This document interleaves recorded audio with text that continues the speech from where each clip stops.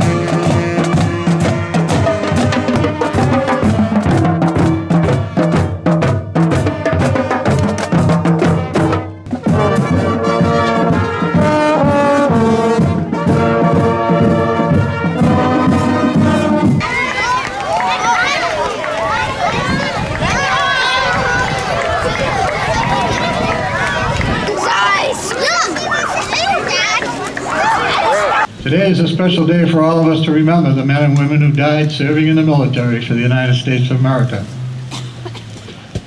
The tradition of Memorial Day has been going on since the Civil War, originally called Decorations Day, where flowers and flags were placed on graves. Some people report that this tradition goes back to 431 BC, to the ancient Greeks and the Romans.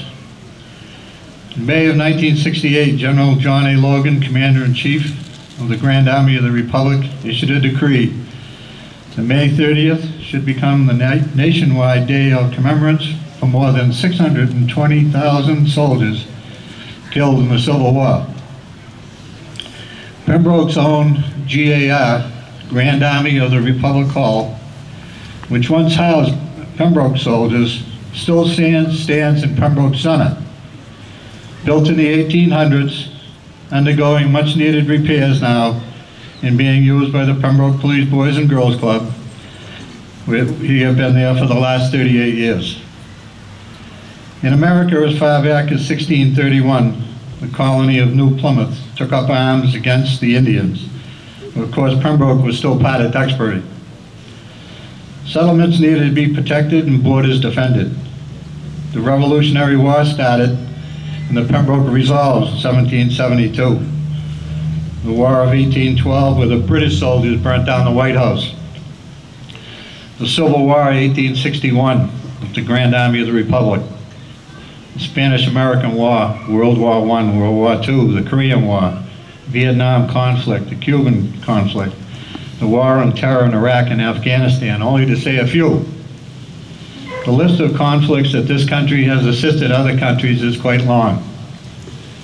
The most recent deaths of Pembroke residents, uh, First Lieutenant Brian McPhillips, April 4, 2003. He was from Monroe Street.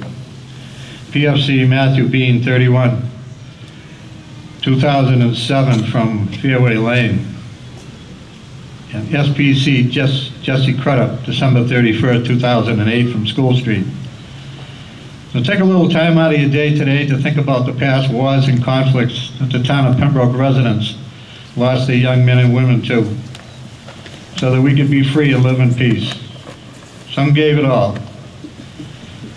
And some are currently in the battlefields today, not knowing if they will be back for future events. We have a great country, and I'm so proud of the men and women that serve and protect us every day. Although my father didn't lose his life during a battle while serving in the Navy, I bring out his flag every Memorial Day and hang it from my porch. And now I have Grandpa's flag to remember his service in the Navy also during the Second World War. God bless our military, God bless America, and have a great day. Thank you. When we decided to undertake the design and construction of this memorial, we were determined that it should be something special. After all, it's meant to honor the courage and sacrifice of all the brave heroes who fought in the global war on terrorism. The monument's made of granite. It represents a firm strength and steadfastness, an unyielding commitment and endurance to finish the mission that was entrusted to our brave servicemen and women. But along with that goes a softness like this grass to realize that there are moments that command a sympathy and sensitivity to a brother or sister who needs support when the battle is overwhelming. Our American flag flies above it all, representing our freedom.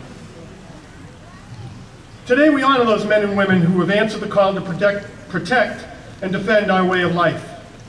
Our liberties and values stand safe today because of the brave men and women who've been ready to face the fire.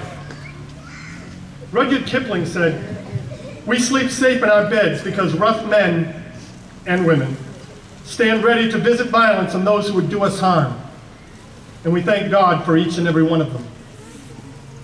I consider myself blessed to be among those who answered the call to serve in these wars, not because I wanted to leave my family and travel halfway around the world, not because I wanted to witness the horrors that human beings are willing to commit against each other. I'm blessed because Amongst all those atrocities, I witnessed America's finest committing acts of courage, bravery, and heroism, as well as acts, as well as acts of kindness, empathy, and compassion. To paraphrase Major Richard Winters, I'm not a hero, but I had the honor of serving with them. We honor those heroes here today with the dedication of this monument. Thank you. God bless you, and God bless the United States of America. This has been a long time coming. We've worked, the committee has worked many, many years to get this monument today. And uh, it's here. It was delivered Saturday, which was cutting it really close. We have the Bean family here today, Matthew's parents, and we have the McPhillips family here today, Brian's parents, and they're going to unveil the monument for you when you're ready. Okay. Yeah. Yeah, you gotta go on this side.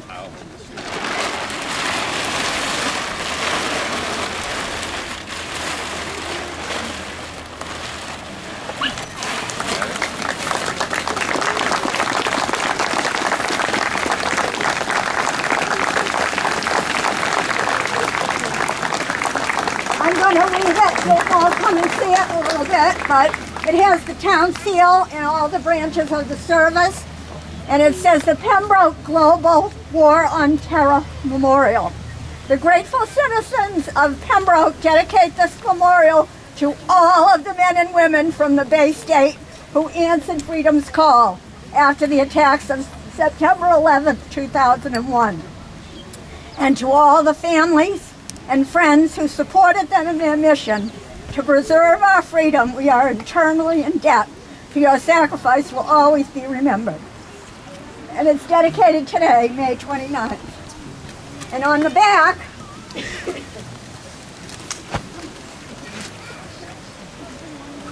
we have Pembroke soldiers killed in action.